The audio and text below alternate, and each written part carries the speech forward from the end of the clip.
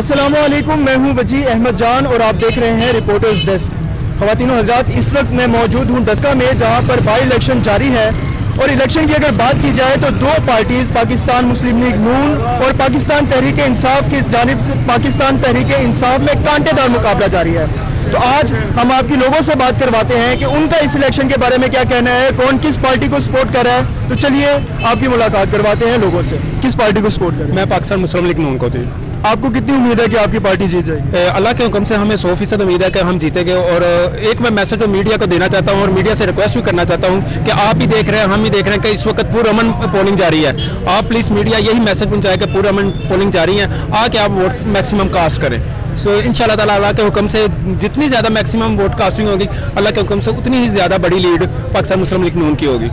अच्छा आपको क्या लगता है कि पिछले इलेक्शन जो हुए थे उसके अंदर Pakistan Muslim League Pakistan Muslim League Noon के साथ धांधली ज़्यादा की गई थी? जी सर धांधली बहुत ज़्यादा की गई थी। उसकी बहुत सारे अवामल थे मसलन कि बहुत सारी फीमेल ऐसी थी जिन्होंने वोट कास्ट ही नहीं किया या जिनकी डेथ हो चुकी थी। उनके वोट कास्ट हुए थे।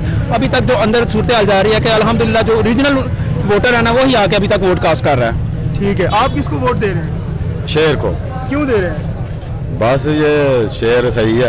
आप क्यों शेर को वोट दे हैं? देखें जी इनका भी तीन साल दौर देख लें उनका भी देख लें। उस वक्त क्या हालात थे? वो करप्शन भी करते थे। घी डेढ़ सौ रुपये मिलता था पेट्रोल भी सस्ता था बिजली भी सस्ती थी कारोबार भी चलते थे। अब ये करप्शन भी नहीं करते। वो चोर भी थे करप्ट भी थे सब कुछ थे। आवाम का ख्याल रखते थे। इनमें उनमें ये फ़र्क है। नहीं आप ये जानते हुए भी कि शेर ने करप्शन की फिर भी इसको वोट देना चाहते करप्शन लेकिन इसके बावजूद हमें कोई लिख तो दिया है ना? ये तो करप्शन ये इल्ज़ाम है उन पे। इसके बावजूद एक आदमी को चोरी भी करता है। इनके मखौल हम नहीं कहते उनको। हमें उन्होंने मोटर भी दी है सड़कें भी दी हैं। तो वो उनकी शादी पे जब आए मुझे काश मेरा फ़ोन उठा लो ये तो उनको तरले करते हैं। शादी पे किसी के जाना कौन सा जिलों में? ये नहीं जाता यूदियों में। शादी पे जाना और कॉल उठाना बड़ा डिफरेंस है। नहीं ये कोई ऐसी बात नहीं है। दुनिया में रहते हुए ग्लोबल विलेज है एक दूसरे के मामला होते हैं तलक वास्ते होते हैं। इंसान कट कर नहीं रह सकता किसी से। आप भी शेर को वोट दे रहे हैं? क्यों दे रहे हैं? इसलिए कि वो बहुत अच्छे हैं। इसके अलावा कोई और अगर आप देना चाहें? ये आप कहते हैं ना कि ये मुस्लिम लीग चोर है ये डाकू हैं डकेट हैं ये तरीक इंसाफ वाले ये डकेट हैं। ये कश्मीर ने कश्मीर का सौदा इन्होंने किया है। जैसे इनकी हुकूमत है ये कश्मीरी बंद है। ये देखें आप ये जुल्म हो रहा है ये मार्क्स इसीलिए लग रहे हैं हमको कि उन पर जुल्म हो रहा है। जी आप कुछ कहना चाहते हैं? पीटीआई शर्म नहीं वोट मांग रहा हूँ। क्यों? आप ऐसे क्यों कह रहे हैं? तो की किताब मस्त क्या नून लीग ने क्या किया? सब कुछ तो किया नून लीग ने। क्या किया कुछ एक कारोबार इसका कारोबार है बाकी?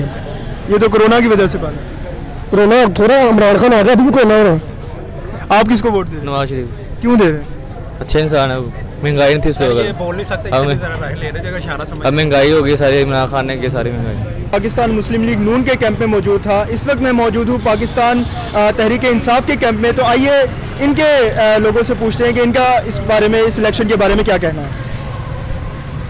अलकुम अच्छा आप बताएँ कि आपको कितनी उम्मीद है कि पाकिस्तान तहरीक इंसाफ ये इलेक्शन जीत जाएगी? हंड्रेड फ़ीसद है। कैसे कैसे अस्सी हज़ार शेर जो है डकैतियाँ काट है सब कुछ ये करते हैं। सर क्योंकि हम उनकी कारकर्दगी पे खुश हैं। उन्होंने 22 साल के बहुत जदोजहद की है कि हमारे मुल्क के लिए किया है। तहरीक इंसाफ के दौर में सब ये शिकायत कर रहे हैं कि महँगाई हो गई है। इसके बारे में आपका क्या कहना है? सर महँगाई तो होगी। अब एक ऑरेंज ट्रेन है बाईस बाईस अरब रुपया उस पर आई है सारी लागत। उसका बाईस अरब की टोटल उसकी सेल होनी चाहिए।